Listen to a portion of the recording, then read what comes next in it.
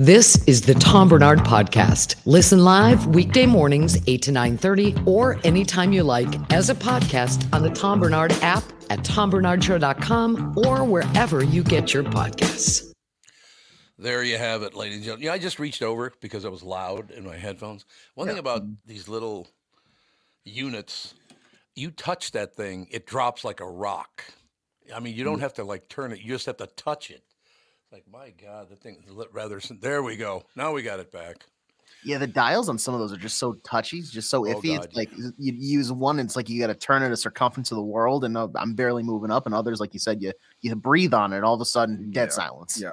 A lot of they're like the uh, hot, like a shower in a hotel where it's either scalding hot or Yes. Oh freezing. yeah. There's no in between. I don't know. When I see- think of that word touchy, I just think of you know management. But other than that, big babies, sugar tit all the way. And actually, that works out pretty well. You know, does that have anything to do with the fact that I never see anybody in person? Maybe that's what it is. Maybe. That might have something. But I, I haven't for like 30 years. I haven't worked out of a radio station, and I'm going once in a while, but very, very Mhm. rarely. But I just that would seem very unusual now, I suppose. Um, I don't know what this is all about, but it says, yeah, I guess I do know what it's all about. Most Americans now think nine to five jobs are uh, an outdated idea. Well, guess what? Unless you own a corporation, you don't get a vote. How about that? You want to work here or not? Right? Yeah. Well, I mean, I they might also just be saying that working a nine to five isn't the ideal. Like they'd rather maybe pursue their own business ideas. go. and going and sitting and working in a cubicle all day just isn't for them, which I would definitely I- agree for. With I understand that absolutely, but it says most Americans. That's a lot of people. yeah, Oh I mean, yeah. that's how most Americans thinks nine to five is outdated. I do because I haven't worked nine to five now ever. I've never. I don't think I. Well, since I was a, I was a uh, working at Dayton's and Donaldson's doing that stuff. I I, Mhm. I, I have not worked nine to five since then because it was either in the voiceover business or in Capitol Records or in radio. You just don't work nine to five. So I guess I don't get a vote because I've never done it. Well, since Yeah. I was a teenager. No, I, I I think you do because you get the other you you've had the other side of it, which is you are very anti. Like you you haven't had to work the the nine to five, so you Mhm. have that perspective of how much extra time or like how much you are able to do stuff during like two o'clock hours, whereas other people are stuck in a cubicle.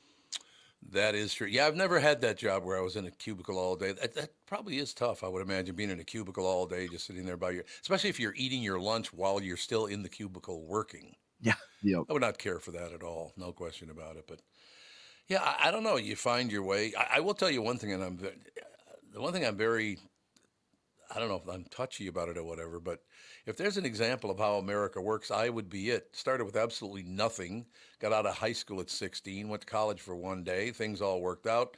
So what I'm saying is, if I can do it, so can you, right? Right. What does There the article go. go into detail on what uh, they would change or what portion of the nine to five they're revolting against? Because it might even just be as simple as like an hour earlier. Maybe people Maybe. want like, Yeah, a, an eight an to eight to four. four, so they have an extra hour like after they get off or something. What does your day job have in common uh, with that old VCR taking up space in your attic? They're both outdated, or at least a majority of us now think so.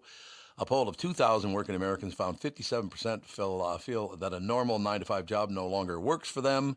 51% think jobs without a flexible schedule are an outdated idea and it's time to rethink it. Plenty of Americans have already abandoned 9 to 5s and the gig economy is now in full swing. But do you think that's better than the classic uh, five day a week job? And is getting uh, rid of normal jobs even realistic? The survey also found a lot of people want to be paid differently and more. They want to be paid differently and more often. Well, who doesn't want to be paid more often, right? I mean, you get paid what every week, every two weeks. Some yeah, usually every every two weeks. But I've had a job where the pay rate and everything, it wasn't like you got paid more. They just broke it up into every Friday you got paid Oh yeah. Seven hundred instead of fourteen hundred for every two weeks. Yeah, I had I had a job uh, before college that was like it was a weekly pay. Mm-hmm. So Yeah. you know, it, it's and then it, it's the same thing at the end of the month, but it's just Doesn't like matter, you know, it's nice having that check Yep. get sl- slid over the table to to. Yeah, Friday week, exactly yeah. right. There you go, ladies. Yeah, because I get paid once a month. I think I've always gotten Mm. paid once a month. Okay. So as long as I've been doing this, and you know, radio and that stuff. No, no, actually, that's not true. Uh, the old joint, I just call it. I, I just call it uh, basically Disney KQ because when it was Mhm. Disney KQ, it was a much different company, and they pay uh, every two weeks. Yeah, that's true. And I think Crumulus or what is it? Crum, Crumula, what the hell ever it's called, Crumulus. Crumulus. Uh, they paid every two weeks. I know that. Uh, also true. I, you know, I called, uh, I called Dan Seeman yesterday. He goes, I, I, we had a good laugh. I'm sitting around a couple nights ago. My phone rings. I don't usually answer my phone when I don't recognize the number, but Mhm. I do it about maybe once or twice a month. You just don't. You're not thinking. You go, oh, somebody's calling. You answer it Yeah, instead of of, looking at who's calling. Yep. A reporter called me, and he said his name, but I didn't hear him. I don't have any idea what the hell his name is or where he worked or whatever because I wasn't paying attention. Yeah. Uh, is it true that a certain uh, radio station is going to be purchased by another company and you're going to do the morning show? I'm like, where did you come up with that? I mean, where do these things come from? People just speculating on the street, that kind of deal? Yeah, I think it's a lot like whether it's you know sports or entertainment. People will just go, "How can I get somebody to click on this story?" And now they can put at the end of it, Tom Barnard had no comment. Yeah, I So yeah, you know what? You know, Yep, it's a very good point. That when you put at the very end, I, I had no comment about. I suppose I don't know. You. I guarantee you one thing: if that is true, and it turned out to be this joint that was buying the other joint, I get to stand up and do the Donald Trump. You're fired. Do I get to do that? yeah, You're fired. put, You're fired. You're fired. put together a whole production, exactly. Do a just production. stream it. the whole deal. Pay per view. I would love that actually. Do it on pay per view, absolutely. But uh, yeah, I ran into a bunch of people that are big listeners to the show. It was very very nice. Uh, uh, it's it's coming. Both shows are coming along nicely, as a matter of fact, and it's just. I'm very happy about that because I don't really want. Well, I suppose at this point in my life, I would just probably retire or something. But I can't see like leaving podcasting. I think I'll go work at Kmart. I don't see me doing that. No, no. I I would pay to see that personally. the hell do you want? ch- that- check out things like Yeah. or check out people at the Kmart. Yeah, Paper or plastic? It took too long. You're getting plastic. You're getting yeah, exactly. I don't care. Go and poison people. Way to go. Typical. Nice job. Um, God, there was a guy uh, about a week ago. I went on my walk, and I told you there's this one tunnel that I go through because you can either go north of the freeway or south of the freeway, and there's a tunnel underneath it. Mhm. I go over there because of this boat show thing they got that's gigantic. That's still going on. It goes on for like a month. I was gonna say, it feels like it's been two weeks now. It has. You're abs- setting it up takes like three weeks. Oh, okay. It literally is about a mile long that they shut down the road, and it's, I'm not exaggerating. It's about a mile of the the uh, intercoastal front. They shut it down on the eastern side, so you can't even walk over there. Mhm. You, you wouldn't believe it's got to be billions of dollars worth of boats. It has to be, and it's everything from you know a little uh, a little skiff. Is that what they call a skiff? A little boat, tiny thing. yeah. I Yeah, a I Yes. mean, I I don't know. I'll, that sounds right. I do. I do know these skiffs. Yeah, are smaller boats. Okay. Um, I had a house in Golden Valley that was a very big house. You could fit that house in some of these boats. It's like, holy God, those boats are big. Oh, Honest to God- well, you saw. I told you about the one that the that. What the hell is it? I always forget the guy's name. The guy that owned the San Antonio Spurs, Or it's the Dallas Mark Mavericks. Cuban. Mark Cuban. Dallas Maverick. I keep thinking the wrong town too. That's the other thing. We're trained now. Yep, We know I exactly. know how his mind works. As soon as we get- I don't think Mark Cuban's my kind of guy. That's why I have a hard. You know, I do that, and I don't do it on purpose, but I block things out of my head if I don't care. I don't think Mark Cuban's my kind of guy. You know? Yeah, I, he's a hard person to read. but Yeah. I, I feel like he puts on a facade for the public, but he's probably not as nice as he seems. I think you two could be civil for like a lunch together, but then as soon as you walk out the doors, you're like, I'm never hanging out with that guy again. Uh, you would believe that, unless of course they had three hundred million dollars to buy it. If you spent three hundred million dollars on a boat, why would you buy a used boat? That new one's a little bit more. Yeah, maybe that's half a billion. Maybe that's what it is. Oh my God!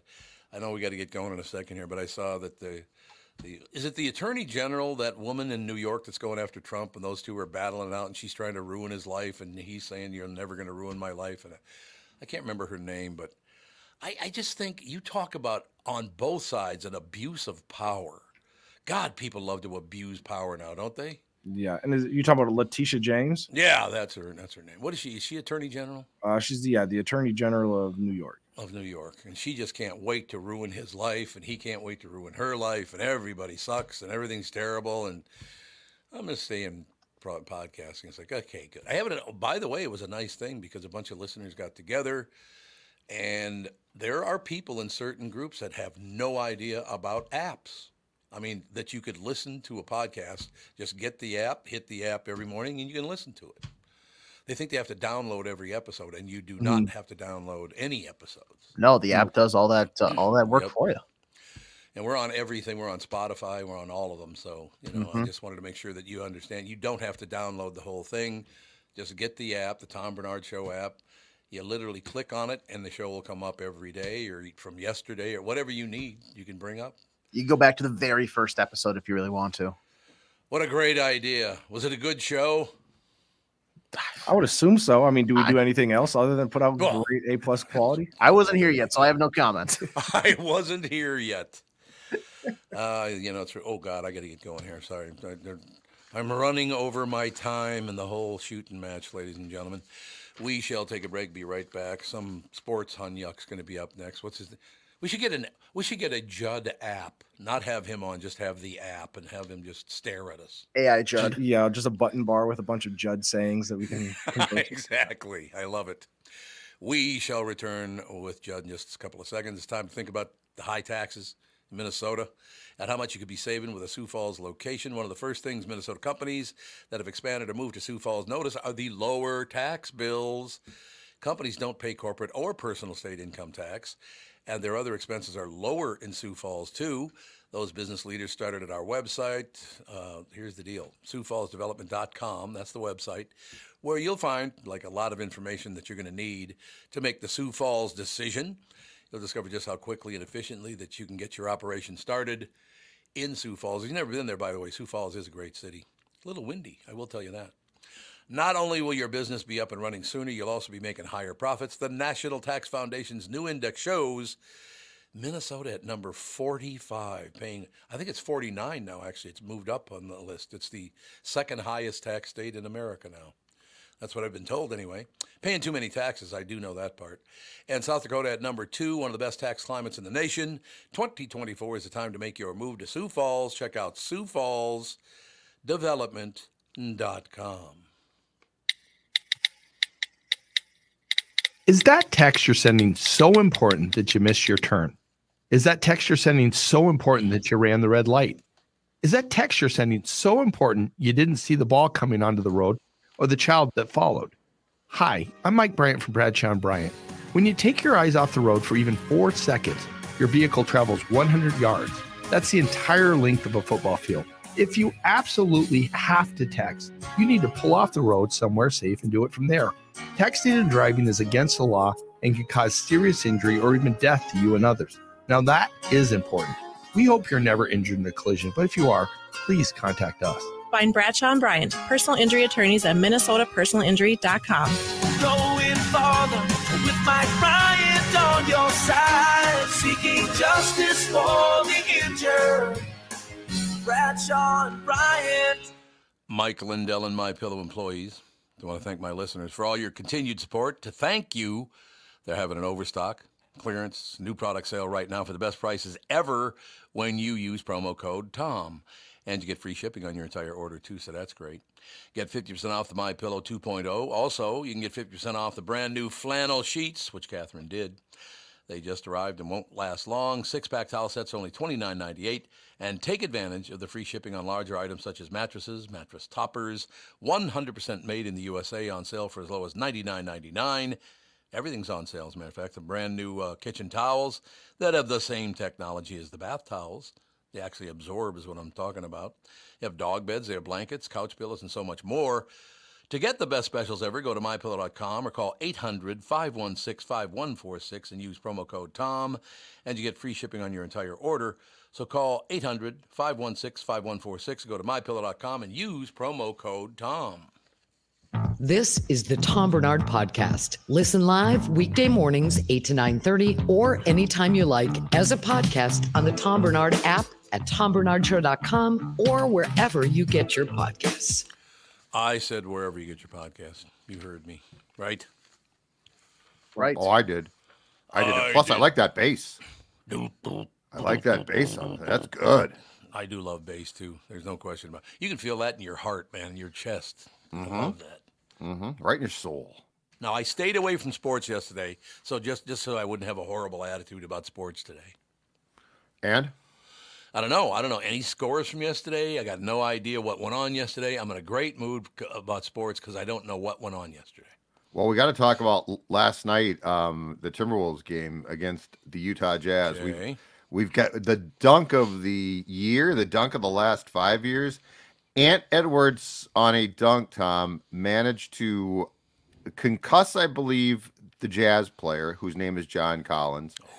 He dislocated his left finger while in the air on John Collins's face, and he still made the basket. And it might be, or the dunk, and it might be uh, one of the most impressive things I've seen in sports, just as far as a, oh my God, a human being did that. No doubt. Well, who was the seven foot seven guy from? He was from like, I don't know, somewhere in Africa. I don't remember. Remember, he's seven foot. Manute. Bol, Manute Bol. way back But- when? That he used to just reach up and grab the rim while standing on Oh, the yeah. court.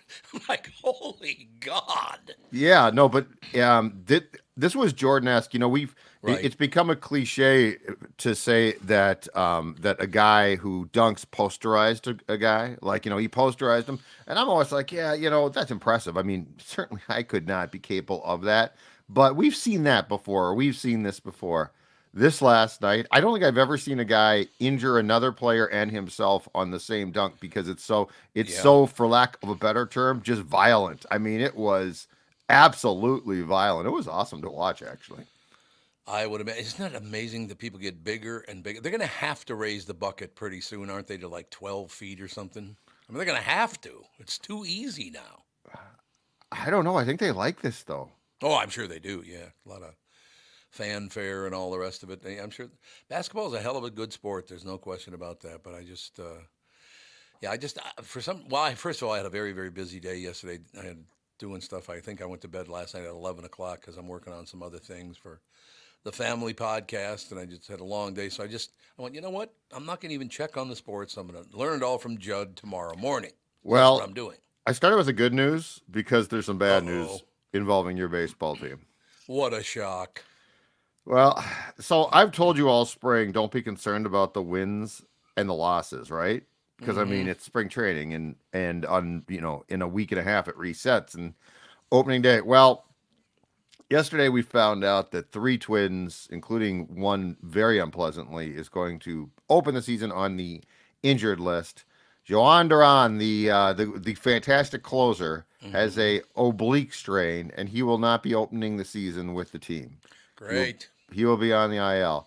Um, Caleb Thielbar, who's dealt with a hamstring all spring, this one's not a surprise, is going to open the season on the IL.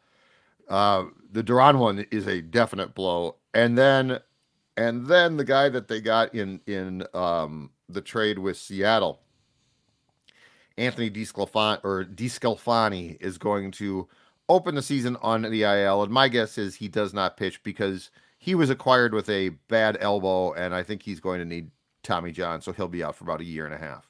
Why would we trade for someone who's going to be sitting out a year and a half? This is a really good question. Uh, the Twins have had a habit of this. Uh, unfortunately, uh, previously, I think they've just been flat out duped. Like they they got that Tyler Mahle from the Reds, who is now in Texas, and they actually got him in the in the heat of a pennant race at the trade deadline, right? And found out his arm. I think it was last April uh, was a mess, and so that was unpleasant. This guy came over in the Polanco trade with a bunch of cash with him.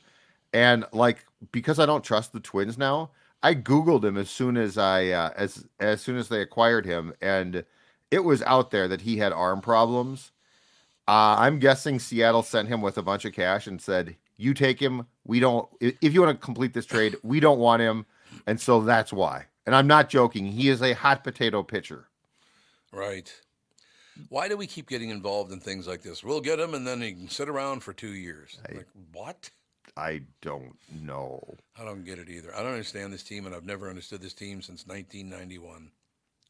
Yeah, well, that was a great year, but besides that, but so like now this is oh, and uh and make this what you will. Bucks didn't didn't play yesterday because of back tightness. Oh God, here we go again. And that's what I said. Now he took he took batting practice or he he took his swings um in in the cage and I saw Baldelli saying, "Well, if this was a real problem, he wouldn't have been swinging in the cage." But uh you can't help but feel with Buxton anytime there's something like this that it's what you just said. Here we go again. No question about it. It just, it's just it's the same every year, year after year. It just repeats the same thing. Oh, he's out and he's in. Oh, no, he's back out. It's like whatever for Christ's sake. Hell of a talent, but he just can't stay healthy. It's yeah, I know. It's so disappointing. But the Duran thing was a real surprise. I don't think Yeah. that had been reported. I don't think that was out there. And all, all of a sudden, uh, Derek Falvey went. I believe it was on the radio broadcast to chit chat with the broadcasters and said, "Yeah, he's going to open the season on the injured list." Jesus. So what are they going to do? They're going to probably have Griffin Jax close. But the problem with this is it bumps everybody up one spot, and so it depletes. And I mean, this is your most this is your most important bullpen arm. It's not like you know if it was just Thielbar, it's not great because he, he is one of uh, two left-handers in the bullpen. But it's not the end of the world. But like this is and obliques scare me because obliques you have to sit out. Like you can't rush back from that, or you will just restrain the oblique, and then you're starting from point one. There you have it, ladies and gentlemen. I just was sent some information. I was because people, a lot, you know, in certain generations and all that stuff. There were people that thought they had to download every episode of this show, right, and the Family Show Oh, sure. well, which they don't have to. All you have to do is go to the App Store and get the Tom Barnard Show app, and you just click on the app, and you're there every day. You're good to go. One guy. So I get the comment after comment. Of, oh, love the shows. Wonderful. Everything's great. Thanks so much. It'd be much easier. Just absolutely love it. The last comment that just popped up Hey, Tom, nice shirt. now, I don't know what that means. It was a nice blue shirt, I thought. You know. Your shirt, like your shirt right now? No, no, when? this one's red. This is this is one, I shot Ah. a video last night telling people how to just go to the. app. Oh, It doesn't cost anything to download it. You just download it, and instead of messing around, you know, you can put it on your car through Yeah. Bluetooth and all the rest of it. Yeah, you don't have to you don't download have to download episode after episode after episode because I'd never do that. It's too much of a pain. Just go to the App Store, click on the app, Tom Barnard Show app, and you're good to go. But thank you for the nice shirt comment. I, I- yes, I look good in baby blue. There's no question. I like your shirt now for sure. That's a let that that looks like a comfortable, nice shirt with a nice. a zip on it. I mean, that's bravo. I do like zips because I got some Oh. chunky fingers and hands. Those lit, those little buttons is a, that's a bitch. I can't do the little buttons. I can do the bigger ones. I can't do things now that aren't comfortable. And I mean, this has been a this has been a lifelong thing, but I don't know how you go to work in a suit every day. I know. Well, very few people do now, don't they? Some do still. yeah, I think you're right now. But I mean, my, my dad did. Yeah. He worked in retail. He would leave every day. I mean, he had all these suits, dressed pretty impeccably, and I am the polar opposite of that. Well, in my dad's case, he had to wear uh, a jacket every day. I mean, it was a straight jacket, but you know. Does that make any difference? That's um. Well, no, it's a jacket, right? You guys have to experience that someday. Them hauling off your dad in a straight jacket. It's something to watch as a seven-year-old. Yeah. No, I think I pass on that one.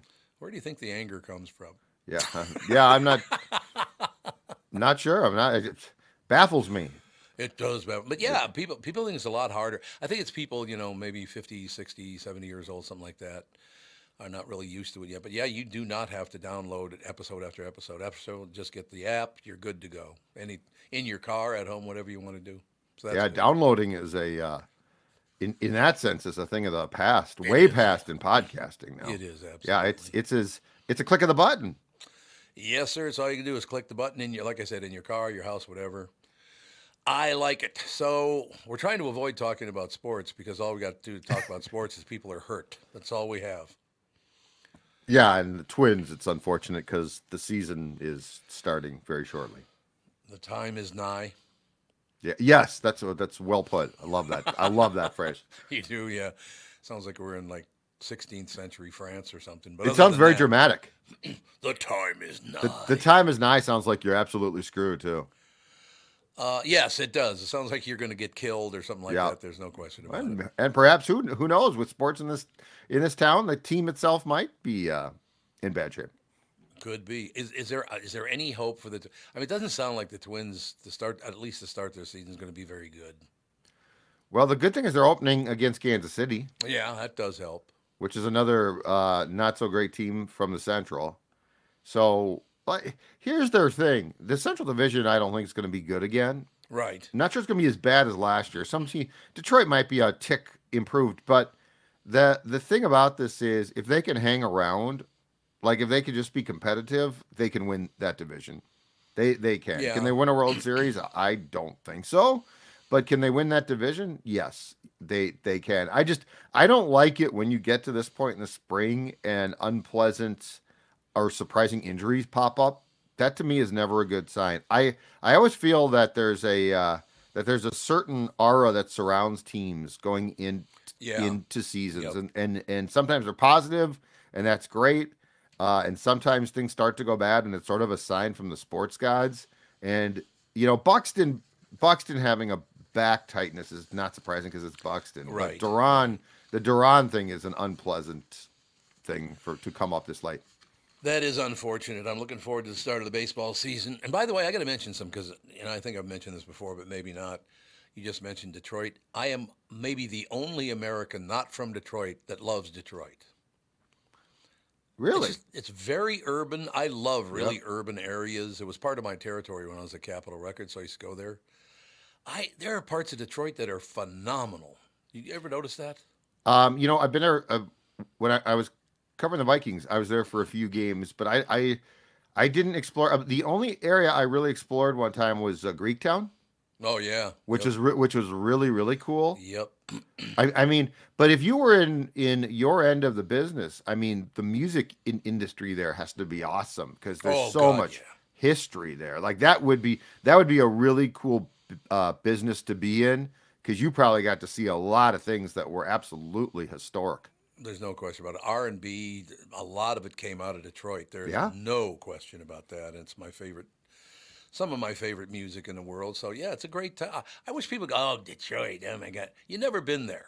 I mean, if you were, you went to the wrong parts. There are some, you know, horrible parts. There's some horrible parts of the Twin Cities. Yep. And know. downtown and downtown Detroit has improved as well. Yes. Like they've done Yep. a lot of work. No question about it. All right, Pally. So we'll just, uh, I'll talk to you again probably November when the season's over because it's going to be too painful. Is that the plan? I'd be right in the heart of Vikings. Sure. Why not? Let, let's regroup then.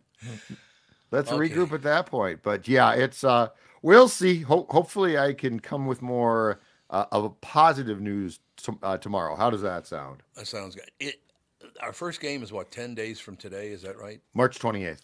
Oh, 28, so it's nine days from today. Yep. Okay, so I just wanted to make sure. I thought it was 10, so I'm glad I asked you. It's only nine days away. Ladies and gentlemen, that would be a week plus two if you're not following. Yep. One week from today, and then add two more days, and then that's the first real game of the season. See how simple that is? Just beautiful. So the two things are you don't have to da- download podcasts now. Correct. It's simple as a click of the app, and in nine days, two more than seven, the Twins open the season at Kansas City. Two more than seven. That's exactly right. I'm glad Okay, you all right. that way. There's no question about that. Yeah, we had Pat Miles in the family show yesterday. My God, it was what a. I love her. How's She's Pat Miles amazing. doing? Uh, you know, because Bucky died. I don't know if you know that her husband Bucky died. Yeah, I did see that. uh, Yeah. It's a tough role, but I adore that woman. She's uh, one of my favorite people. We're doing a series just on how women in TV news change the news for the better. Okay. How the news was delivered, and uh, Pat was our first guest. We're going to go through a lot of different people. I got. I can't get a hold of Cindy Brucato though because she's got a she's got a Facebook page, but there's nothing on it. There's no way to contact her. So yeah, because she, she came back to Channel 5, if you recall, what was that, about 15 years ago? Mm, it's about right, yeah. That that she came back. But yeah, yeah, and Pat, and Pat was a legend because her and Shelby Shelby, Love were Shelby. huge on Channel 4 before she switched to Channel 11. Well, the only balance it it just shows that there's balance in the universe because you had Shelby and Pat Miles, and then on the bad end there's Mark Rosen. Yeah, no. I love Rosie. I haven't seen Ro. I could. I was out of town for his wedding. He just got married last fall Yep. or last early winter or whenever it was. But yeah, I was out of town, so I didn't get to go. But I love Marky Rosen, man. Known him now for 40 years. I've known him. What Yep. a great Well- guy. Well, he he owes his his success on on uh, radio side to one guy, as far as I'm concerned. Dan Colhane. Uh, no, no, no. His name was Tom something. Dan was one of the greats also, Oh. no question about it. I just think it's unfair, and I've always told Mark Rosen this. Who ever heard of a six foot six Jew? That's what I'd like to know. He's a big fella, man. Not, Oh, not only is he tall, huge. He's huge for Christ's sake. But his family, oh man, they're the nicest people in the world. His his mom was around and Mm-hmm. got to talk to her once in a while. But all right, I'm reminiscing too much. We got to move on. All Yeah, right, everybody. Love Rosie. All right, we'll Talk talk tomorrow. to you tomorrow, Pally. We'll take a break. Be right back in a couple of seconds. Chris Egert from Channel 5 Eyewitness News with us. In addition to having the best selection in town, K&L Surplus and ammo. Also can help you sell firearms safely and worry free. If you've inherited a collection of firearms from a loved one and don't know what to do with them, or if you have guns you're no longer using, call Jim at K&L Surplus and Ammo. Jim can help you sell those firearms safely through consignment and auction. I know Jim. He's extremely knowledgeable. Will help you get top dollar, which is very important. He will help you explore all the options and take the work and stress off your shoulders. He'll do it all. K&L Surplus and Ammo's on Lake Drive in Lino Lakes and open Tuesday through Saturday. Y- You should go visit. I've been there a couple of times. It's a great, great spot. You can also visit them online, of course, at www.klgunstore.com. Recently, Jim Paul of Valley Buick GMC was contacted by a company that does on site sales. Jim was confused. Wait, they don't know anything about us, our staff, our reputation, most importantly, our customers. Hey, pal, no problem. We do them all over the country. You know, get the manager off the roof sale, inflatable gorilla sale, and our favorite, the 13 hour sale with a giant clock that goes to 13. Urgency, baby. We bring our crew because, well, your people are, let's just say, a little uh, laid back. And the pricing? Nothing special, sport. But Jim thought we price competitively every day. Our prices are special. We definitely don't need these guys. But sale does convey some urgency, so he made a bold decision for his fine dealerships. Announcing the Valley Buick GMC 365 day sale. And we can even extend it a couple years or so. I got the air dancer guy, scratch offs, plastic keys, bubble machine. five. Valley Buick GMC in Apple Valley or Hastings or valleycardealers.com. Hurry. March means it's springtime, and that means spring cleaning and your carpets and air ducts are the first item on my list. Your carpet and ducts are your biggest air filters in your home, and you could be breathing in nasty dust, dander, and bacteria. Zerorez's platinum rated cleaning systems and environmentally friendly ZR water to the rescue with these limited time offers. Three rooms of carpet clean starting at just $129 off $40 savings, $75 off air duct cleaning, and 20% off all upholstery cleaning. Zerorez has over 17,000 reviews with an average 4.9 star rating, so their gotta love it guarantee ensures your spring cleaning will leave your home looking and smelling how it should. Call 952 Z E R O R E Z or visit zerorezminnesota.com to schedule your spring cleaning offer today and be sure to ask for the Tom Barnard special. Zerorez. Spell it forward or backward, it spells the same. Schedule your appointment today and beat the spring cleaning rush. This is the Tom Barnard Podcast. Edgar, what are you doing? Whipping somebody? What the hell was that noise? No, I was just making the face when that guitar riff comes on as we come back. No, you feel like you have to kind of make that face. You do absolutely. You know, it's funny you bring that because it was just it popped into my head. We were just talking about Marky Rosen, and I worked with him originally 40 years ago and known him for a long time.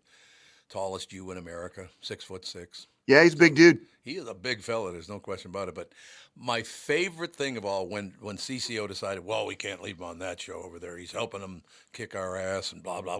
We got to take him back and put him on CCO or whatever they did, did right?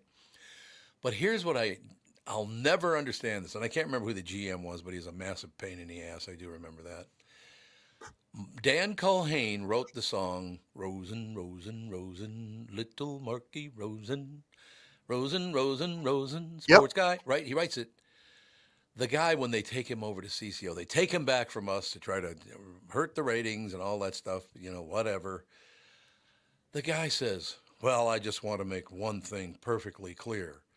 This is not little Marky Rosen. This is big Marky Rosen. Do you not get the joke? Uh, what? You don't, the guy's six foot six. You refer to him as little Marky Rosen. It's a joke, pal. Oh, And- yeah. Wow. I know. It's like, what? Okay. Whatever. Some people, hey, listen, some people are so square. I understand completely. So what's in the news, Pally? Well, the snow is going to be the big thing. I, I alluded to it yesterday, and they're getting all locked in on it now today. So it sounds like Thursday night into Friday. Yeah, I printed this out and then I, of course, left it upstairs because I'm a moron. Um, it's going to be two to four inches. It's going to be two waves, two to four inches with the first wave, and then on Saturday night into Sunday, pretty much the entire day. Sunday, it's going to snow. They're not.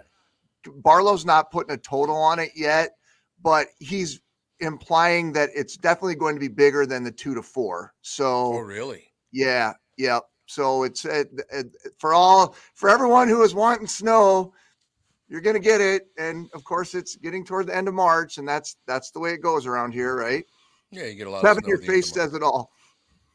I I hate every word that's come out of your mouth since you've got on this show today. Hey, you know, it, it'll get nicer on the 20th of June. Don't worry about it. I know we always get lulled into this false sense of, oh yeah. But you know, of course, it, it it's been such a weird year, and ice is off the lakes, and you know, people are already like, like mentally transitioning to getting boats out and golfing, and you know, kind of getting started early. But that you know, this will this will keep us honest, I guess. I suppose it's all true. You can say, hey, it's Minnesota. It is what it is. There's no question. You got people got screwed out of ski season, which is unfortunate. Ice skating, no, a lot of not a lot of ice skating this year. So they, yeah, I can understand why those people would be pissed off. I was never much into skiing or ice skating, so whatever.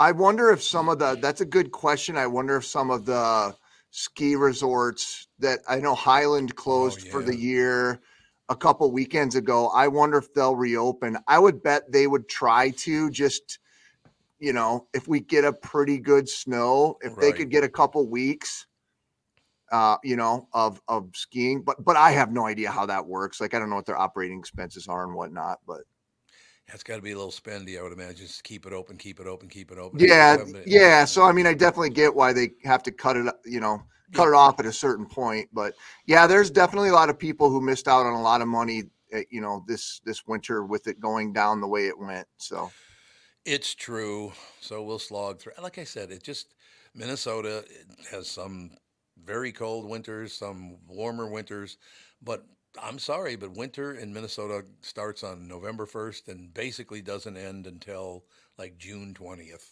That's just the way it is. I mean, it it you're you're definitely not out of the clear in April either, as we've Oh, learned God, the last couple of years. So Yep. No, it's great. Had some great weather this year, though. Some very nice weather, unless, of course, you do want to go ice skating or skiing, I guess. So now I got to hurry up and get home after work, and instead of taking a nap, go pick up dog s out of the yard to get all Oh, that yeah. taken care of before before the snow comes. No doubt about it. I, Kath, I go, as you know, I go for several walks every day, and I was on a walk with Catherine and Jude last night, our dog. And I'm talking to Catherine, and I don't know what happened, but all of a sudden, for some reason, I looked down and I missed a pile of dog poop by about one inch. Oh, you dodged a bullet there. Oh God, you step in dog. You may as well throw those shoes away. Well, you never- can't get it. You cannot No. get it out of there. There's Nope. nothing like you. You take it down to the utility sink, and you're like, "All right, I'm gonna get." It, it feels like there's nothing you can do. It's true. There's no question about it. So I, I don't know. We'll just uh, hey, look. It's been a, a pretty darn good winter, unless of course you are a skier or a skater or that kind of thing. That's not too great. But as far as skating is concerned, there are some indoor rinks, so that does help, doesn't it? Yeah, there's lots of there's lots of ice around. I guess the issue of that is getting time on it because I don't think hockey season ever really ends around here. Yeah, So that's true. Yes, absolutely. Any other good news? I only know you got about uh, one more minute left. Any any good news we should know about? Oh, I would just say to keep an eye on what's going on at the state capitol because there's this whole controversy over Uber and Lyft leaving Minneapolis Yep. and kind of threatening to pull out of the whole region. But the at the state legislature is trying to come up with something that's going to, you know, appease all parties. So we'll see how that all plays out. You know what's interesting about that is every time I look at something now, and it's, I have to ignore a lot of things because every time something happens, it's always about votes or money, and the vote thing is all about money.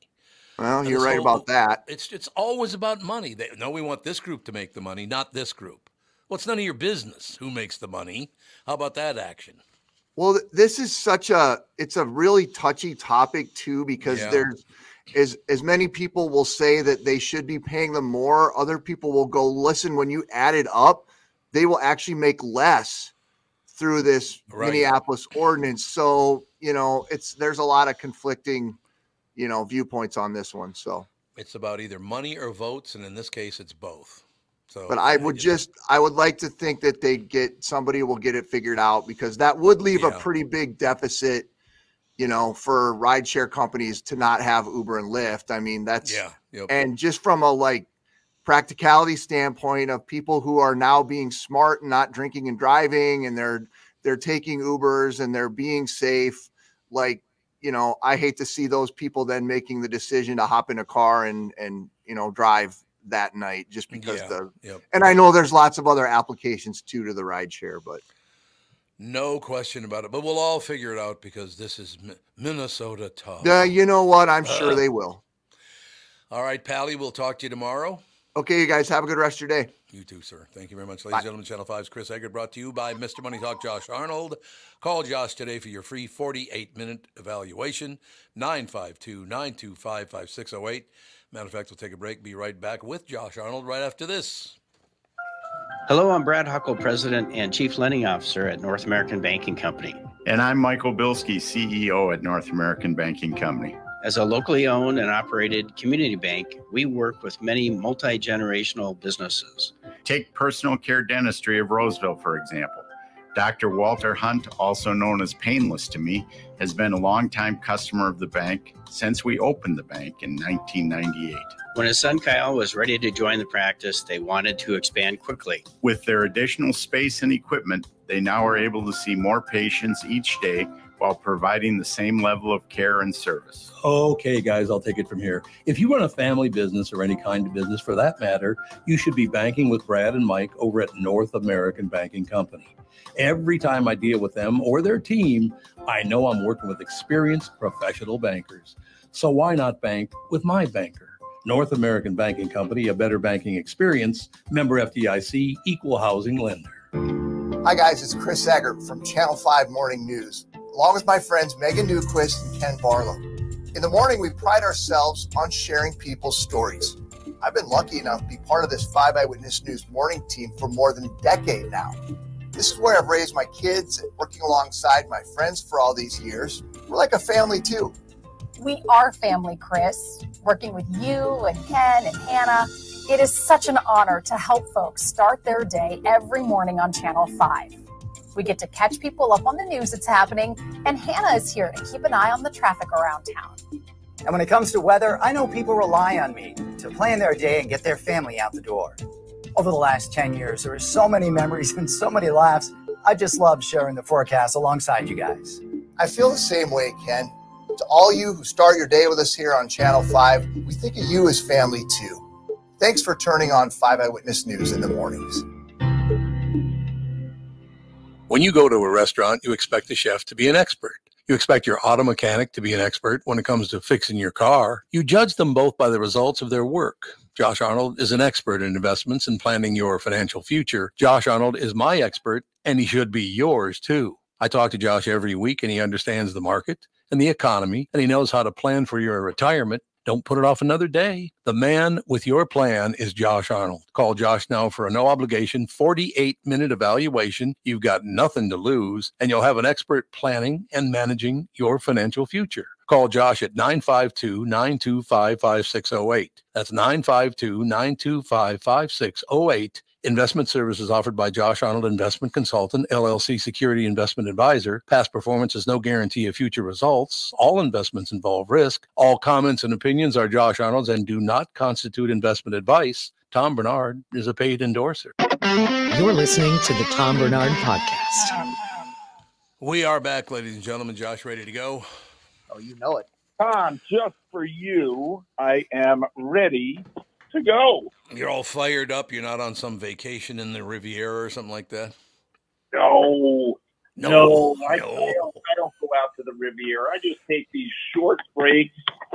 I go to to Florida to see my mother, to see you.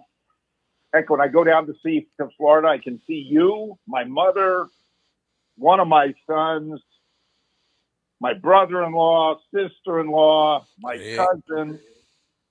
Then I can go see on the other coast. I can see my son number one, my daughter-in-law, my granddaughters. Then I can go to New York for a weekend, see my daughter and son-in-law and new grandson.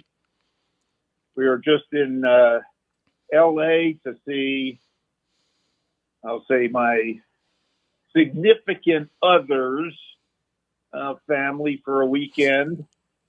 Gosh, it was gorgeous.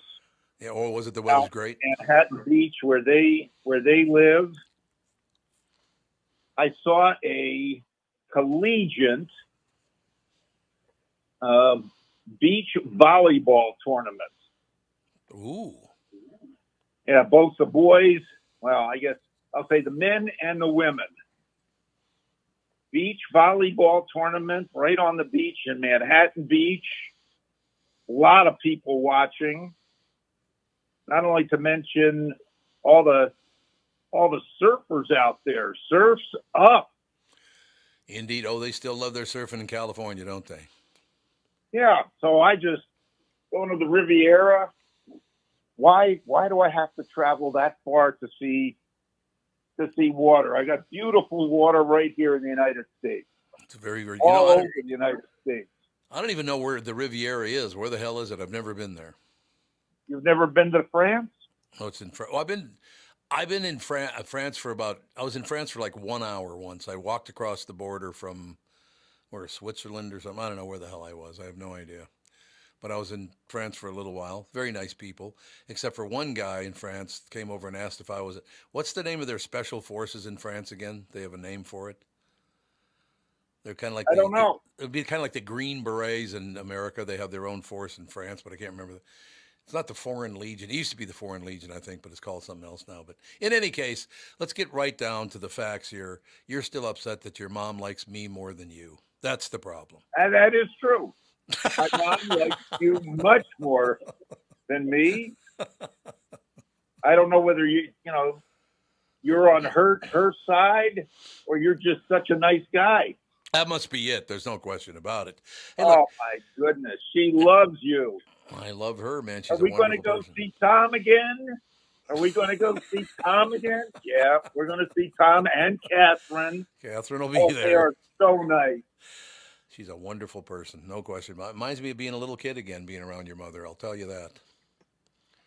she's got you know for 96 she's she's got a lot of energy and she told me she just got interviewed by the uh, um, fort lauderdale sentinel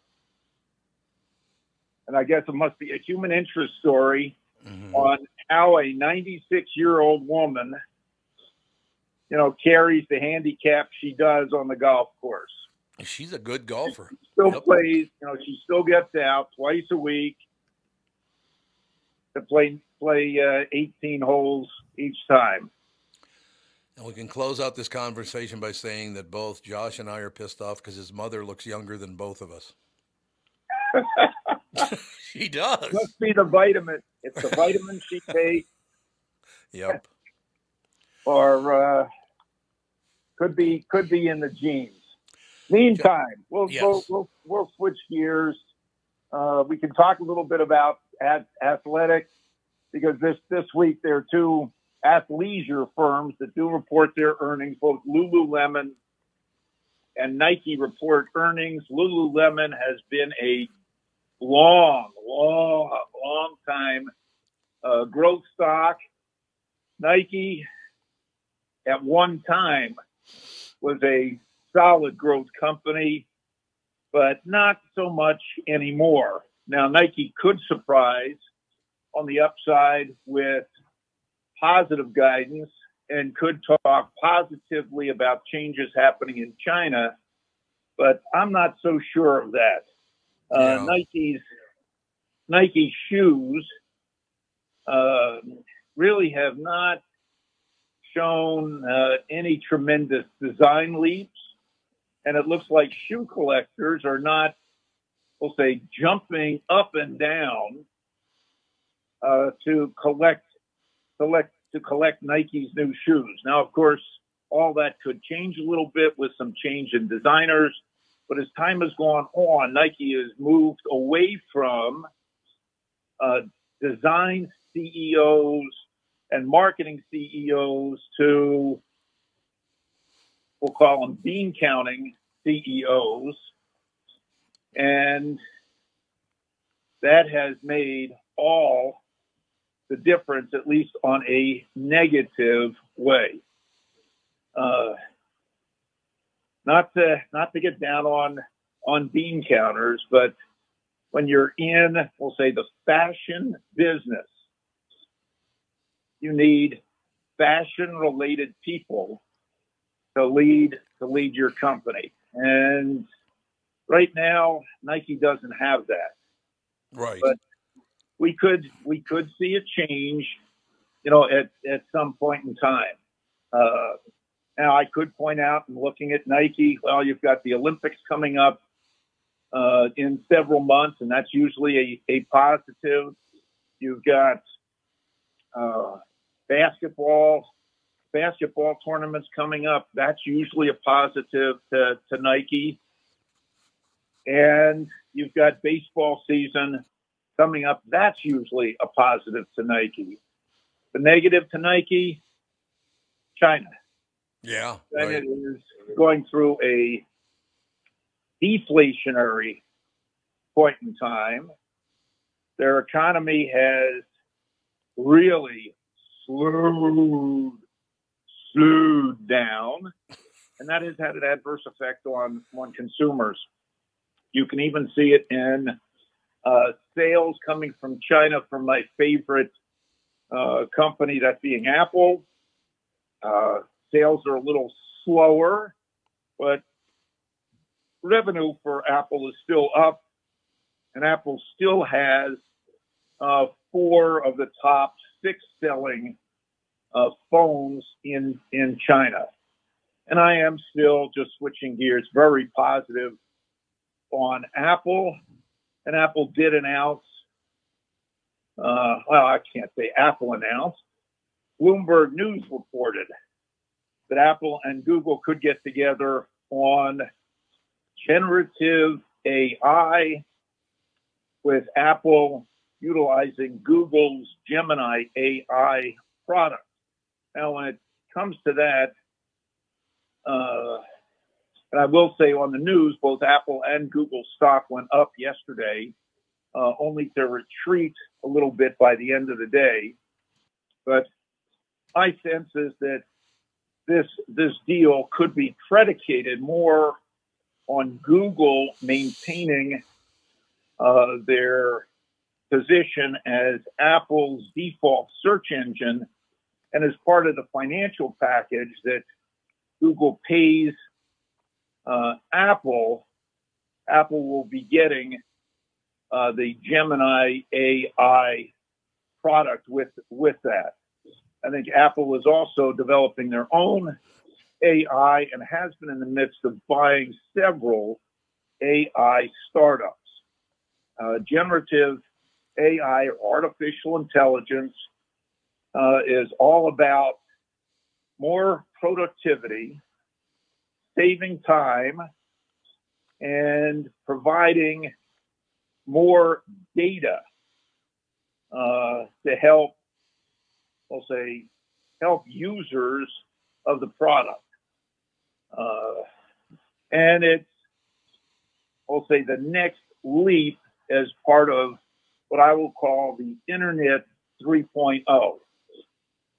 We have Internet 1.0, which was the early 90s, uh, developing the Internet, uh, getting that uh, built out. Internet 2.0, some of the early uses of the Internet, which include uh, uh, shop, uh, I'll say retail and shopping through companies like uh, second favorite uh, Amazon and uh, and data data retrieval, which would include companies like Google that that really benefit. I'll say data retrieval, which include Meta, now Facebook and Instagram, as well as Google, and now generative AI Internet 3.0, which now has, uh, we'll call it uh, additional thinking. But again, that's all from the data that's been been stored up. Uh, so companies that will be able to process the data, store the data, will still be be big, and the uses for for this are enormous. Now, the thought is going to be not so much on who's developing it, but who's going to be able to utilize uh, generative AI. Uh, one analyst with this said, uh, when you think of generative AI, think about who's going to benefit from from the development. Just think of the early years of refrigeration and ice making. One of the big beneficiaries of that, Coca-Cola.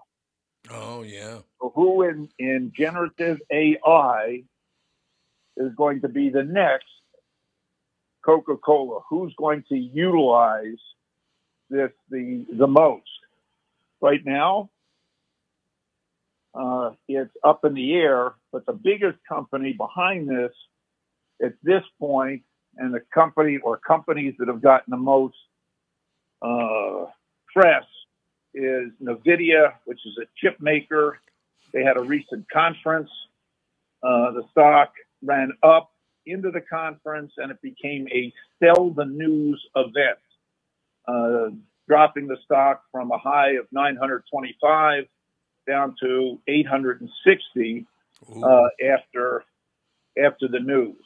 I think there are numerous companies that are going to be utilizing AI as time goes on.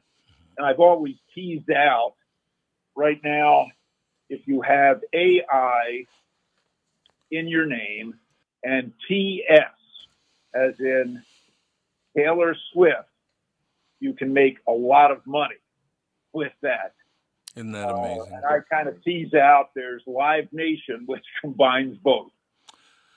There you have it. Another brilliant report. Josh, I have one question on your way out, and I have it for all three of you. Uh, going back to the Nike deal, Devin, uh, tie Mhm. shoes or slip ins? Tennis shoes. Um, I will. I just don't tie my. I always slip in, but they have laces. I just don't tie them. You just don't tie them. Yep. Okay, because I Catherine just bought me three pairs of slip-in tennis shoes. My God, I love them. They're phenomenal. You just slip them on; they fit perfectly. Josh, you got any slip-ons? No, I I do not have slip-ons. I bend down, tie my tie my uh, running shoes. I've always bent down and tied my running shoes. Uh, I've got no problem with the with the laces. I bend down, tie my running shoes. To me, they fit much better. The slip-in stuff. Now you're you're a big guy. Kevin's a big guy, so maybe it's a little harder harder for you to bend bend oh, down. here we go. Here we Oh, go. come on, I'm around. I'm around around you guys. I feel like a shrimp. You know, I'm five foot ten, and I feel like a shrimp around you. You giant. All you're- right. all well over six feet tall.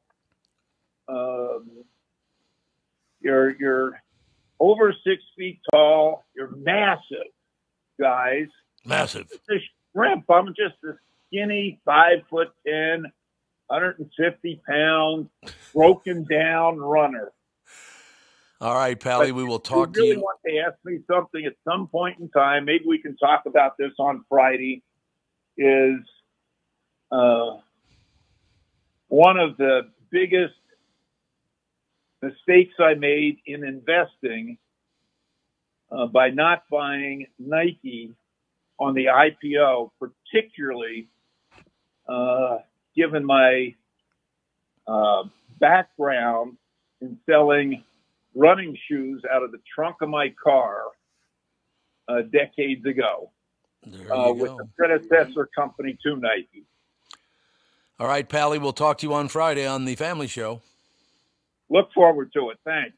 Thanks a lot, ladies and gentlemen. Josh Arnold, take a break. Be uh, right back. Brett Gelman promoting his uh, book, The Terrifying Realm of the Possible Nearly True Stories. Brett Gelman, right after this.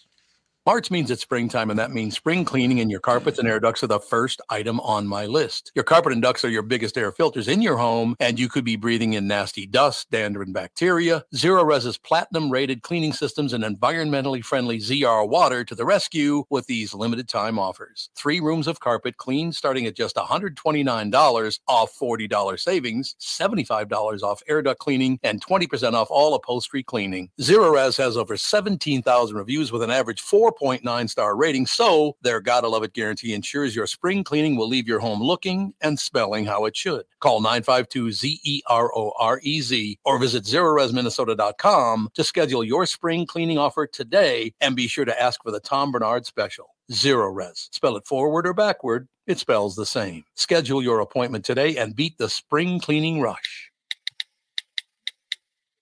Is that text you're sending so important that you miss your turn? Is that text you're sending so important that you ran the red light?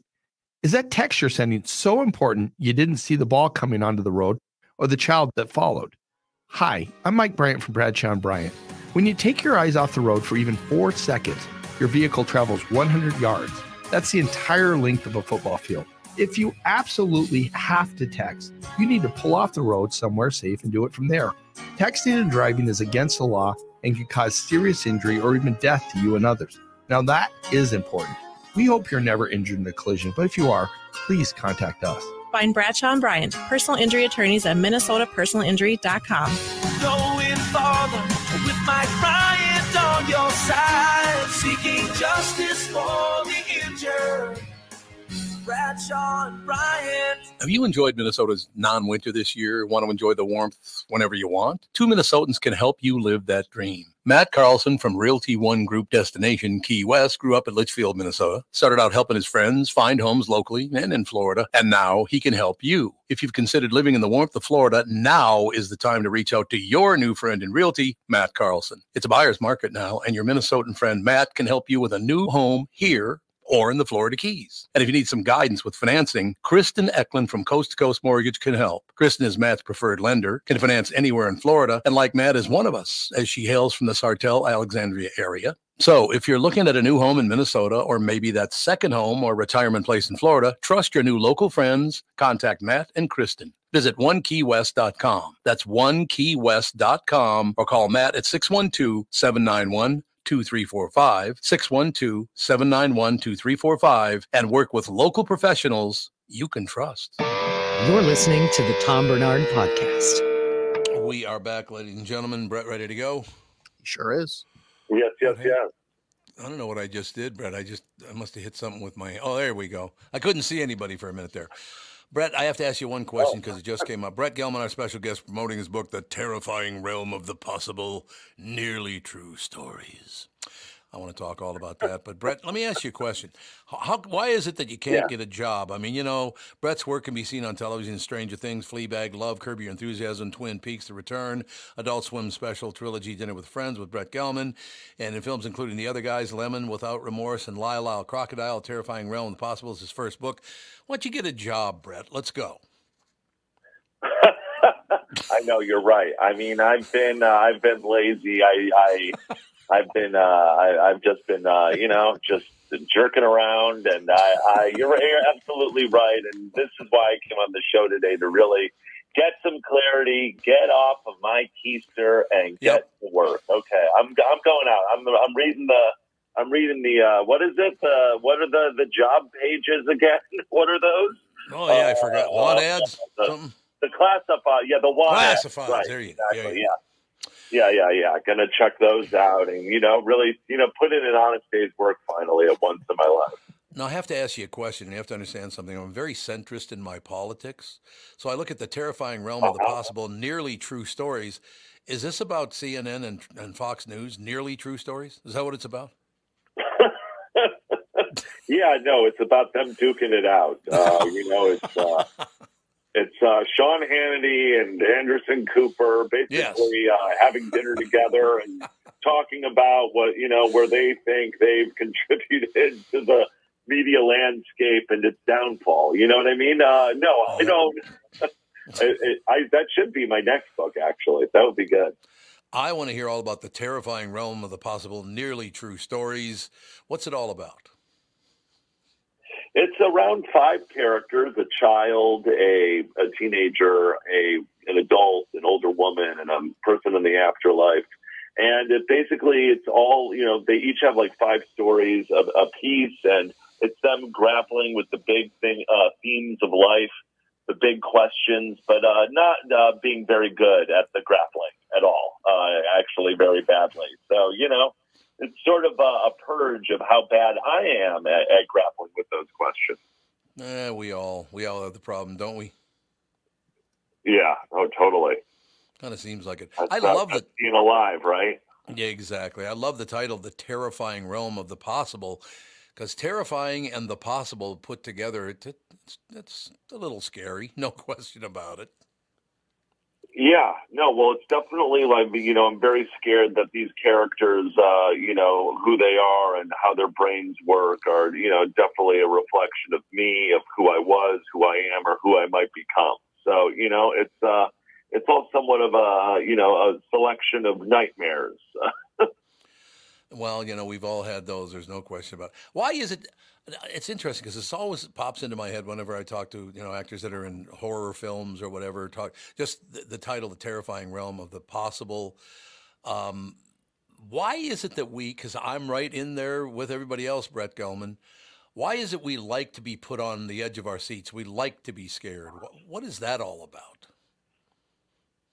I think, well, I think that, uh, you know, life can get pretty boring, you know? Yeah, well, true. No matter how exciting your life is.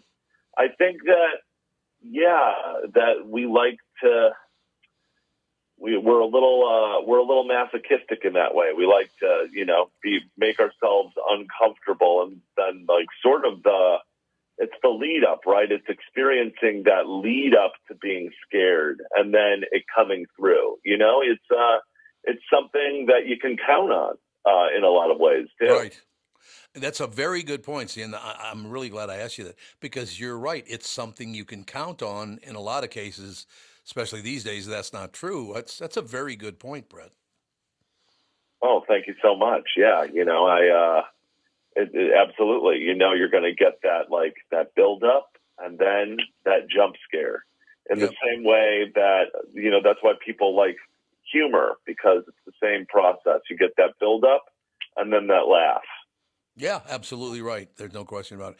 How does it all start, Brett? I mean, how long ago? What was the first thought that popped in your head about the terrifying realm of the possible? How did it all start in your head? I think that you know, I just there was a there's a story in there about a kid who you know uh, thinks that he's got well, he doesn't think he has demons in his head, uh, absolutely, but he imagines that there are demons in his head, telling him, uh, you know, making him have OCD. I mean, and so that was pretty much a thing I struggled with as a kid, and I sort of had that was the seed to that story and who that kid is, and there's like autobiographical elements about wanting to be accepted and what you do to do that. And there's just you know a lot of my fears and anxieties put into this book that would you know sort of uh, jump off of and, and, and create the story from You know what's really great about it too. And by the way, ladies and gentlemen, uh, in case uh, you've never met Brett Gelman, he he cuts a fine figure. He's a handsome young man. But that picture they put uh, on, on the descriptor, you're staring at me right now like you want to kill me. like, whoa. Oh no! Oh no! I was, you know, hey, it's it's a very serious picture. Yes, but it is. it's also kind of funny. You know, I'm sitting there cross-legged with the book open. I mean, it's uh, you know, it's it's it's your quintessential, very ultra dramatic uh, author photo. It is a great photo. There's no question about it. It, Yeah. it will sell a lot of books. Thank I, you. I'm absolutely. Yeah. We're talking to Brett Gelman about Well, his book. my my future brother-in-law, David Simon Dion, who's a brilliant photographer, took that photo. Well, there you go. It, it did work out beautifully Yeah. in the end. There's no question about it. I, I think it's really important right now, Brett, because if you watch the news, everybody hates everybody else, and and where, whether you have to start with a "I love everybody" or "I'm scared of everybody," the terrifying realm of the possible, nearly true stories. We need to start feeling things other than a hatred for the opposite. And I've never understood that, by the way, Brett, at all. I don't agree with you, therefore you hate me. It's like what? How did we ever get there?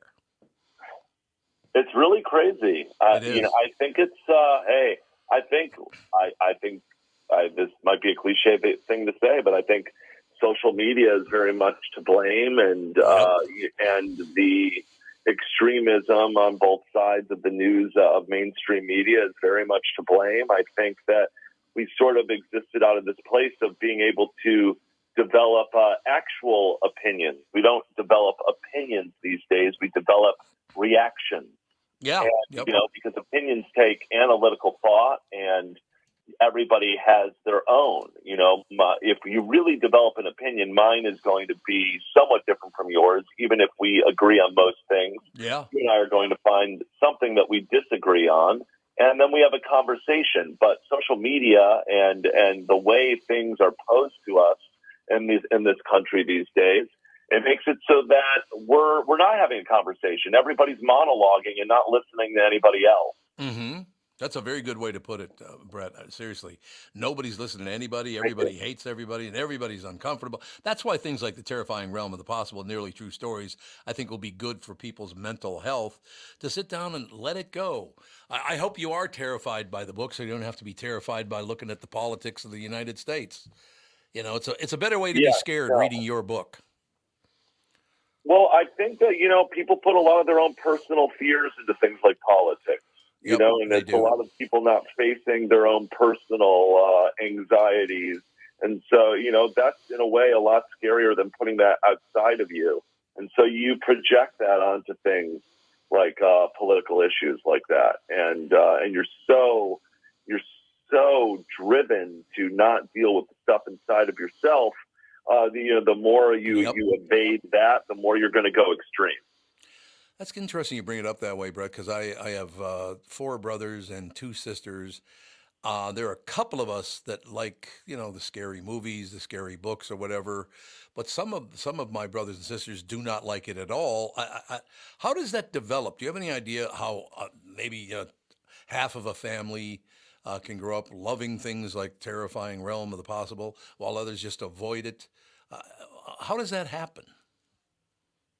I, you know, I think it's just, uh, I think some people get, look, you seem like a, a, a person who likes to face things. I think being able to watch scary things uh, is a way, uh, an ability to face, uh, face our nightmares. And so I, uh, I think that, you know, people who, who don't, it doesn't mean they're, you know, lesser people or, or weaker people, but they just, uh, that's just not their bag. They want, uh, they want something a lot smoother.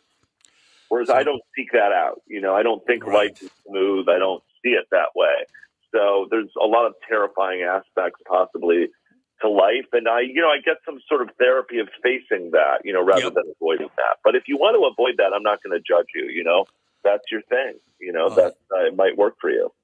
I'm judging them for you, Brett. That's what I want you to know. That I'll judge you. You got to come to town come in studio, pal. Are you gonna go? Are you gonna go on a book tour? I love that.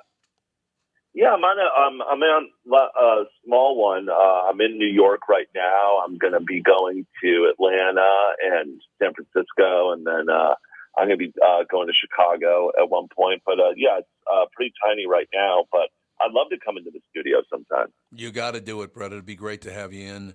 The book is called The Oh, Terrifying so Realm of the. Possible, nearly true stories. Right in my wheelhouse, as a matter of fact. I need I need distraction right Yeah. now, and I, I really do need distraction right now. And just actually sitting and reading makes me very very calm. I do like that. Oh yeah, well, I think you know. Hey, I mean, the the, the book is a is a, a, a couple hundred pages of pure anxiety, but I think that it'll help you. It'll help you. Uh, I think hopefully you'll relate to it in a certain way that you can laugh at it. I think that's exactly right. I will be reading The Terrifying Realm of the Possible Nearly True Stories. Brett Gelman, G E L M A N, will hopefully see you in studio soon. Brett, thank you for your time.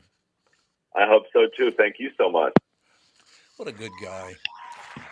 I like good guys, good authors. Don't you think it? You got? Do you guys go that route? You like scary things once in a while? Oh yeah, yeah, and I might have to check his book out because I loved him in Stranger Things. He was like one of the main characters in the most recent season, so I'll definitely have to check his book out. Yeah, and I'll, I'll have to check that out too because I loved him in uh, the other guys, which Yep. is Yeah, yep. which is it's such a weird role because you know he's a very minor character, but like I kind of like seeing guys like that maybe like showcase what they actually have, and so this book, I mean, kind of takes a dip into his mind, maybe. So it'll be fun. I bet you're absolutely right about that. There's no question. But I, that kind of thing, some people get scared. Uh, For some reason, when I read things like that or see, th- I'm not talking about slaughter and over the top kind of deal, but little jump jump scare type of deals. I love that stuff because it makes you feel human. You know. Yeah. No question about it. We'll take a break. Speaking of feeling human, just the ability to talk to Kristyn Burtt about Hollywood news makes me feel like a human being right after this.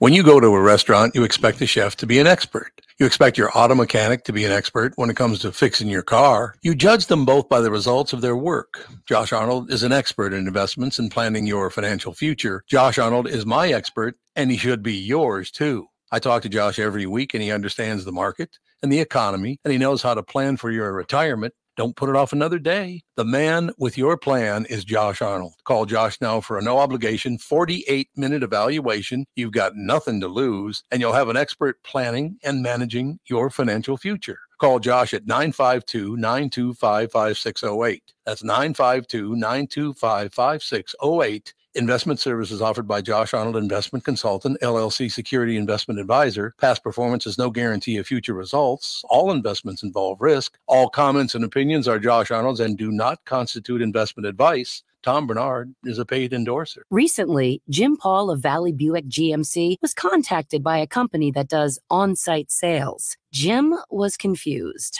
Wait, they don't know anything about us, our staff, our reputation, most importantly, our customers. Hey, pal, no problem. We do them all over the country. You know, get the manager off the roof sale, inflatable gorilla sale, and our favorite, the 13 hour sale with a giant clock that goes to 13. Urgency, baby. We bring our crew because, well, your people are, let's just say, a little uh, laid back. And the pricing? Nothing special, sport. But Jim thought we price competitively every day. Our prices are special. We definitely don't need these guys. But sale does convey some urgency, so he made a bold decision for his fine dealerships. Announcing the Valley Buick GMC 365 day sale. And we can even extend it a couple years or so. I got the air dancer guy, scratch offs, plastic keys, bubble machine. box. Valley Buick GMC in Apple Valley or Hastings or valleycardealers.com. Hurry. The new Tom Barnard Show is proud to have partners like Bradshaw and Bryant, My Pillow, and North American Banking Company founder, chairman, and president Mike Bilski. I've advertised on Tom's show for years, and the reason is simple. My business is recognized because of the ads, and that recognition has created growth. What business doesn't want to grow? I highly recommend the Tom Barnard Morning Show for your advertising. Grow results for your business by partnering with the Tom Barnard Show. Visit tombarnardshow.com, keyword partner. This is the Tom Barnard Podcast. With a smiley Kristyn Burtt. That's all I have to say. Good morning. Very big smile. Got the kitty on her lap. Kristyn Burtt Entertainment News is brought to you by North American Banking Company. Go to nabankco.com to learn more. Member FDIC, equal housing lender. So, what's the latest? What's the latest? Well, I, I have a question for you from the last segment. All right. When are you going to write your memoir? Never going to happen. Why not? I even have a name for it, actually. I want to call it miasma, which means poisoned air. What do you think? Do it. Why aren't you writing your memoir? I'm serious. Who cares? I think a lot of your it? listeners care. Really? Yeah. And, and honestly, celebrity memoirs have never been hotter. Why wouldn't you write your story? It just, I don't know. I can't accept in my head that anybody give a rat's ass. I'm pretty sure they do. And I feel like we should throw it out there on your Facebook Mhm. page and get a little like temperature read on this. But I have a feeling more people are going to agree with me than you on this. I'm going to start it off. It all started in a small town in central Minnesota called Long Prairie. That how I should start it? Absolutely. If that is how you want to start your story, that is authentic to you. Okay, does it surprise any of you, the three of you and our listeners, that the one thing my mother talked about my until I was about two years old? How long do you have a baby bottle? I'll tell you what, like a, a year or something like that? Somewhere around there. It's about a year, isn't it? I don't Mhm. even know. I don't But know. I'm not a mom. I'm a cat mom. Yeah, there you go. my, my mother said I set the new world record because back then all baby bottles were glass; they were not plastic. Which I still wonder: should baby bottles be plastic? Does that bleed into the milk at all for them?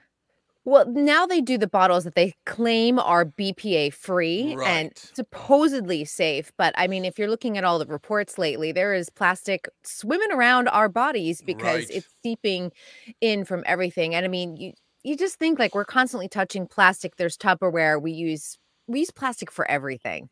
We do indeed. So, un- with the understanding that when I was born, I was almost, well, I was about 22, 23 inches tall and I weighed 11 pounds. And then by the time I was one year old, I was about normal human size. But she, my mother said, and again, those baby bottles were all glass back then. I think they still should be because I don't like the idea of plastic seeping into babies' milk. But she said I would finish my bottle and throw it against the wall and break it every time. So I haven't changed at all in all those years. I'm the same guy. haven't. I'm the same guy I was when I was born. I don't know why I would do that. I, I, I uh, of course, don't remember it because I was only a year old. But for some reason, I love to break my baby bottles. I don't get it. That's okay. You're a bull in a china shop, as they say, right? Bull in a china shop. Yeah. How I don't know, Tom. I think people need to hear your story. And I think, especially where your era of radio was so, so successful, so profitable, and an era we won't see again when it comes to this genre. It's right. shifted completely. I really honestly think that the more stories that are told, the better. And you should do it. Write my memoir. That's all I need. I'll write your memoir with you. Oh, are you going to do it with me? I- I'm a writer. I'll write your memoir with you. You just sit there and you tell me stories and I write. We'll have to spend all day together during writing Oh, sessions. Won't that be just fantastic for you? No question about it, ladies and gentlemen. I don't know. I'll have to get back to it. But we have to call it miasma. Poisoned air is a great name for a book. about Poisoned spoken air. about somebody on the air. Get it? I, I honestly think you should call it poisoned air, not Poisoned air is a miasma. great- Oh, just poisoned air. Poisoned air. I actually, what miasma means. right. I think you're going to be explaining to too many people and they're going to think it's a science book. Just poisoned air. And basically, it's both sides of it too. It'd be actually it'd be a good name just call poisoned air because what came out of my mouth went over the air. But also the people in the front office who did nothing but badmouth people and stab them in the back. That poisoned air too. Yeah, like poisoned air, my life in the trenches. I like it. So Get good. done. All right, It all please put that on your Facebook page because I really want to hear everyone else's opinion on this. Okay, should I write a book? I'm going to put that on my Facebook page. Yes. Should should you write your memoir? Yes. How long does it take? Um, I, you know, I think the writing process, depending on how you dedicate your sessions, I mean, I think it would be about a year with edits and things like that. I got to put up I know. for a year. I know. Catherine, I got to talk to Kristyn again. For Christ's sake, KB1, KB2 you know, do? and then obviously an editor would would work on edits and say we need to flesh out this story more. This one Mm-hmm. is not going to work. uh, We're going to rearrange this order. You know, they they make all of the sort of the judgment calls on it, and then you put it together and you do a book tour. now, how deep should I go into my family history? I think as much as A, you feel comfortable with. That's super important. But B, how much of your childhood and upbringing um, really reflects who you are today. Oh, all of it. There's no question. Yeah. Well, like I said, when you find out your little boy that two of your great uncles and one of your uncles was murdered, that's a nice place to start. Not a lot of people find out that one of their relatives has been murdered. We had three of them that got murdered. Whoa. Isn't that amazing? Well, the first one I wasn't even born yet. August the first was uh, both arms, both legs broken, shoved head first into a snowbank, and froze to death. That's a mob story. That would be a mob story. Hey, how did you know that? By the way, By the manner of death, unfortunately. And I think maybe all three of them might have been involved in that kind of thing. But you know, well, yeah, one was beaten to death, both arms, both legs broken, and froze to death, and then the second one was beaten to death with a pipe, and the third one was thrown off a uh, like a 28 story building. So that was also good. sounds like a mob hit. Does sound like a mob. Maybe I should be in the mafia. I'd probably fit in better. You could be the godfather. Let me just tell you something. I could start talking like this. It'd be unbelievable. I still think The Godfather is one of the greatest movies ever made. Maybe I kind of makes me feel comfortable. Does that sound stupid? That The Godfather. You're like, I feel at home with this movie. I feel at home with the movie The Godfather. All right. So what's happening in the real world? The movies, television. Any great things coming out? Yeah, I, well, I think um, one thing, uh, and this sort of reflects on what we talked about last week. We were talking about TikTok and, and whether it's going to get banned or not. I know the Senate's getting a little sweaty about the issue because people have been calling, um, but Hollywood is starting to weigh in on the issue. And there's kind of two sides to this. And I think it's kind of interesting. You have 170 million people in the US currently on TikTok. Ooh. And it has become one of the most influential marketing tools for Hollywood in terms of TV and film. Mm-hmm. And to take that away really changes the game for them because it basically takes away, particularly your Alpha Gen and Gen Z from the equation. Oh, right. And these are the people they're trying to lure to the table. And they're the people who are coming to Hollywood the least in terms of watching TV and film. Um, so and other on the flip side of this, Hollywood is also like, well, if we get rid of TikTok, that will bring more people back to TV and film because we're not capturing the Gen Z and Alpha Gen audience the way we have with millennials, Gen X, and boomers. Um, but overall, if you take a look at this, there are many people, many Americans making a very substantial income off of TikTok, whether it's through the Creator Fund, whether it's through brand deals, and you will take away a lot of people's income, which is why I think uh, politicians are seeing such a backlash to the ban of TikTok. And is anybody's brain? I've never been on TikTok, so I don't know. But is anybody's brain being poisoned by TikTok? Uh, my okay I'll, I'll talk about my personal algorithm just because uh it what TikTok does very well is it tailors it to your taste and what you're Yeah. viewing and what you're enjoying, what you're liking, commenting on, etc. So mine is is Hollywood. So I get a lot of stream of like Hollywood, Hollywood gossip, all of that. I get a lot of cat videos, um, a lot of like I found a kitten on the road and I took it home and I keep on telling Bill, I'm like, I just want to go on a hot girl walk and find a kitten and rescue it because this is my TikTok fantasy. rescuing a kitten. Um, so it's a lot of that, a little bit of po- politics, but if I feel like I start, it starts diving too heavy into something, I will just say not interested, and it it'll change my algorithm. So. And and the other thing that's in my is Olympic sports. I love Olympic sports, figure skating, gymnastics. So I see a ton of that cheerleading, you name it, it is all in my algorithm. So my feed in general is pretty happy. Oh, so that's good. See, that works out beautifully. I was just reminded by a relative that, Tom, you always talk about the three guys who were murdered in the family. Why don't you ever talk about the fact that the other half of the guys were in the pol- on the police force? That's always the case, by the way. In my neighborhood, if there were thugs in your family, you also had cops in your family. it was, it's, I don't know how that works out, but it does. My uh, my cousin Lamont Dean was uh, a detective in the Minneapolis Police Department. One of the most lovely, wonderful men you'd ever want to meet. Just a great guy. So now I'm already thinking about stuff to talk about in the book. Way to go, Kristyn. See, you can start out with an outline of what you want to talk about. I'm telling you. Right now, what I want to talk about is getting. The, we were just talking. You know, Brett Gelman is a great guy, by the way. Just had him on, and we're just talking about the fact that people have got to calm down with their being pissed off nonstop about everything. Relax. Well, then you can rant in your book. Wait, I, I have this whole plan, and then you option it to Hollywood, and then they make either a docu series about it, or they do a scripted show, or a movie. A movie starring Jim Nabors as Tom Barnard. That'd be great. hey kids, how you doing? Yeah.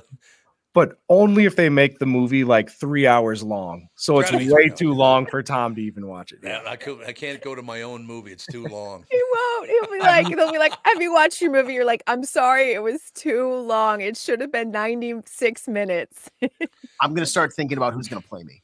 Right. In this Oh, that's right. Got to get somebody to play you. Who plays me? Um, Hear me out. Amy Adams with with a little bit of a blonder tint to her hair. Yeah, I'm I'm actually a redhead under here, Oh, so yeah, you it would really? actually work. I am. Mhm. Catherine's a redhead, so that's why you two get along. Yeah, the KVs. Um, I could also say Julie Bowen might play me. I think that would fit from Okay. Modern Family, the mom. Oh yeah, I could see that I absolutely. think Yeah. that would work. Um, yeah. All right, I'm okay with both of those choices. Okay. I want to play me, and if you could bring up the picture, is there any way you can put a picture up with our pictures, AJ? Um, I would just need you to send it to me. I don't. Oh, I could. Yeah, I don't. I, I don't have it. I just. But uh, there's a guy I'm picturing to play me. It'd be wonderful. Rondo Hatton. Oh, I, remember- I, "Oh." I, I, I remember this conversation. I think from the past here. What? What do you mean? We've never had this conversation before. Rondo Hatton play as Tom Barnard. "Hey, let me ask you a question." The guy's like a caveman in living form, or was. He's dead now. You well, we need picture, someone Kristyn? alive to play you, Tom. Well, it's going to be a problem. Uh, there's no question about it. But he he was as close to an ape as any living human. He really was. Do you know who I'm talking about? He Yeah, was- he was like the guy in every scary movie ever with the big nose. And There the, he is. Yes. There's Rondo Has he ever been on a date? You think? Yes, because he was in Hollywood.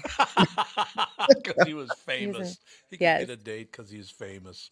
And you know what? Right now, there's a whole thing um, about Gen Z. They like quirky looking guys. You know, you look at Barry Keoghan, you look at Adam Yeah. Driver. They're all like the hot guys, Timothée Chalamet. They're all kind of like quirky looking. So Yep. if you're a quirky looking guy, it is your era. Go for it. No question about it. Okay, I'll tell you what. Because Marlon Brando's dead, he couldn't play me, which was very upsetting. That'd be great. Mm-hmm. I'd have to figure out who could play me. We'll have to get back to you on that one, right? We need someone with a, a really great voice too. It just Yeah. can't be like, oh, it looks like Tom. It needs someone that has that presence.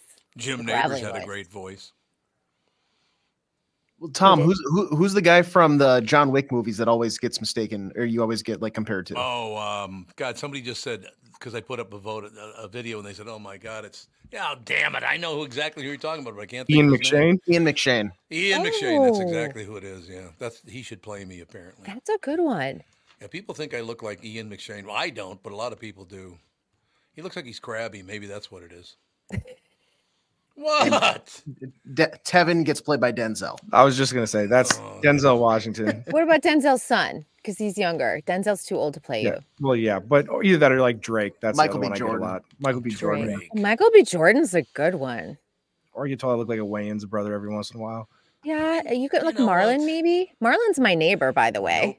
Nope. Really? Yeah. I, I got the guy, Fred jumps Sanford. Fred Sanford as is it? Tevin. What do you think? Oh, I like it. I, I did have a quick question for Kristyn because I've been seeing a lot of buzz about Quiet on Set, the Nickelodeon, I guess, kind of scandal with Drake Bell and a bunch of other people. Yeah. What have you been hearing about that either before this came out or now that it's released on Hulu, I believe? Okay, I, I will talk about uh, quickly before I have seen the uh, first couple of episodes for Quiet on Set. Um, first of all, it is it really dives into what happened in 90s and early 2000s um in Nickelodeon. The Dan Schneider allegations in terms of inappropriate behavior, no one has really like gone as far as saying like sexual abuse with him particularly, but he was very abusive on set emotionally and mentally. Um, and those were kind of like a Harvey Weinstein. This has been known for a very long time. And I think what's most disturbing is that Nickelodeon is a kids channel and nothing was really done about it. Um, I, I question a lot of this in like where was SAG and AFTRA? I know some of their shows were non-union, but the shows that were union, where again was SAG-AFTRA with all of these allegations? Yeah. Um, I highly recommend people watch it, and I'll I'll tell you why. It's always Hollywood that gets the eyeballs on it when it comes to grooming, sexual, child sexual, sexual abuse, even emotional abuse um, on set, and it happens because parents, even though they're there, everyone gets so starry eyed and they feel like they have to go with the flow, and they're like, of course, you know, of course my kid can do this, and they let their kid go off with like the director or a writer or somebody else on set, a trusted person who has groomed you to think that they are a trusted person. Um, but I want to remind people that this happens in sport quite a bit and not Yeah. just Olympic level sport. It happens on recreational level sport. Um, whether your kid's on the soccer field or in the dance studio, really watch this because it is eye opening. And Drake Bell's father talks about how he was isolated from his son. And I remind you, not only was he Drake Bell's parent, but he was also his manager. So he was very involved in his son's career, and he was isolated from him. Um, and this this guy Brian Peck, who is now a convicted sex offender, inserted himself into the entire family's life. And Drake Bell has talked about how excruciating that time period was in his life. And he's, this is the first time he's come forward with it. And if you see the traje- trajectory of his life and what has happened to him since, it explains a lot of things. So I highly recommend anyone who's a parent who has kids in, in sports or theater, dance, any of those things, cheerleading, that you do watch this because it can happen to anyone. It is true. Another brilliant report, sister, except for the miasma part. It's going to be what, poisoned air, poisoned Yeah, air, po- poisoned air. Yeah, there you go. poisoned air. Uh, yeah, I think that's the better. Okay. Yeah. All right, and throw that out on your Insta on your Facebook account because I think people are going to respond really well. I think you're gonna be Miasma or surprised. poison air. Uh, I just think say, should I do a memoir? Should I call it poisoned air? just throw out those questions. Great idea. All right, we'll talk to you tomorrow. See you tomorrow. Ladies and gentlemen, Kristyn Burtt Entertainment News brought to you by North American Banking Company. Go to nabanco.com to learn more. Member FDIC, equal housing lender. Okay, so we got Redd Foxx playing uh, Tevin. Who's playing AJ? Can Jack Black turn back the clock quite a bit? Or what? Jack Black, yeah. He's probably a little too old to play him. Yeah. Although Redd Foxx is a couple years older than Tevin, too. But, you know. Just a little bit. We're also super old. He can play like on my deathbed. Yeah. This they'll play the characters like looking back at Tom's career as we talk about what it was like to work with him. Yes. Oh my God, it was a personal hell. I can hear it now. All right, fellas, we will talk to you tomorrow. I'll be back in about 10, 12 minutes, something like that, with the family show.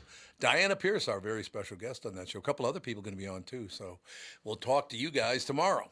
Yep. Talk to you then.